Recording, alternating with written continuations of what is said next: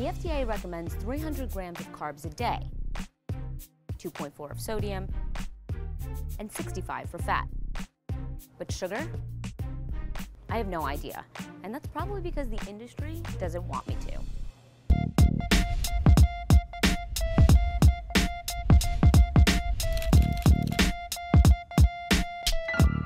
I read nutrition labels.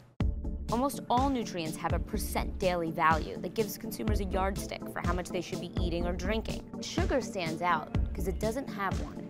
Because the food industry fought against it. The sugar industry is very good at lobbying and very, very good at getting what it wants. The sugar industry has spent at least $54 million lobbying since 2009. Soda and beverage companies? Well, they spent 113 million fighting measures like sugar taxes during the same period. Right now, the industry wants the Federal Food and Drug Administration to drop a proposal for labeling sugar. The agency thinks the added information will actually discourage the average American from eating more than 50 grams of sugar a day. Most Americans eat twice the amount of sugar than this particular cap. And Americans aren't overdosing on fruit. They're getting high on added sugar. We're not just talking soda and ice cream. Ketchup, Four grams of sugar per tablespoon. salad dressing, tomato sauce, even cereals that are marketed as healthy. That means this is 24%, a quarter of the amount of sugar that you're allowed to have for an entire day. Fruit juices. Uh, orange juice has as much uh, sugar in it as a soft drink. And how about this one? Bread. But I looked here, wheat flour, eggs. Sugar is, the, third, ingredient. so every one of these has 10% of the day's sugar allotment.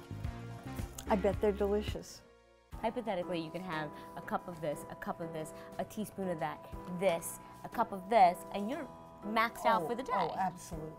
Absolutely. I mean, easily, With no right? trouble at all. So that's why food companies are so opposed to having this daily value on the food label because they know that customers will be shocked when they see how much sugar there is in products that where they might not have suspected. The Sugar Association wrote a 17 page letter to the FDA saying that added sugars have the same chemical makeup as naturally occurring ones, pointing out that the term added sugars is misleading and without scientific justification. So, where does all this leave the FDA's new sugar labels? Well, if history is any guide, the industry will press its case hard. It blocked measures to limit sugar in several states and cities.